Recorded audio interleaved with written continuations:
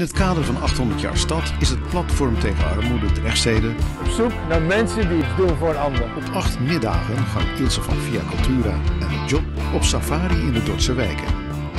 De route is onbekend en de ontmoetingen zijn spontaan.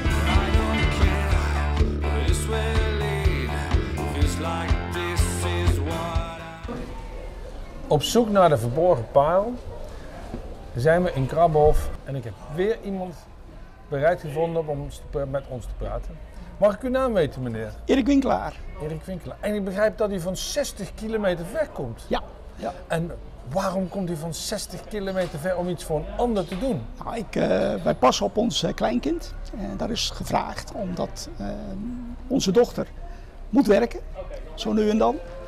En eh, dan verrichten wij. We hebben ook gezegd, wij willen niet een vaste oppas zijn. Wij willen zo nu en dan gewoon wanneer de nood aan de man is, kunnen oppassen. Dus het is niet zo dat ze zo nu en dan moet werken, u past zo nu en dan op. Ja, ja.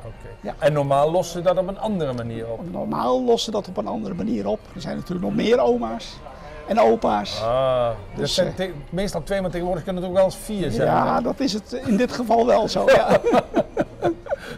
Maar jullie vinden het wel heel belangrijk ja, om te doen. Ja, ja. Ja. het is puur en alleen maar ook om eh, toch er een, hè, iets met het kleinkind op te bouwen. Ja. Hè? want Je woont toch niet echt om de hoek.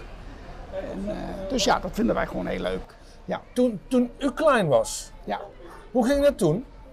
ja niet hè. Moeders bleef thuis. Moeders bleef thuis, dat is natuurlijk niet meer zo. Nee, nee. Dus eigenlijk zijn wij heel afhankelijk geworden van opa's en oma's. Ja, onder andere. Ja. Dus om onze economie draaiende te houden, moeten die opa's en oma's moeten op die kleinkinderen Ja, letten. ja.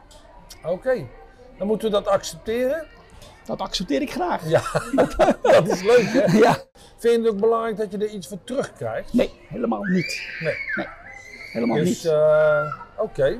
Dat vind ik eh, on, onbaatzuchtig. Ja. Dat is mooi.